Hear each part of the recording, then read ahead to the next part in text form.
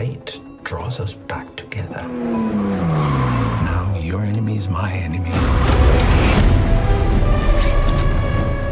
His name is Safin. And what does he want? Revenge. Me. There will be nothing left to save.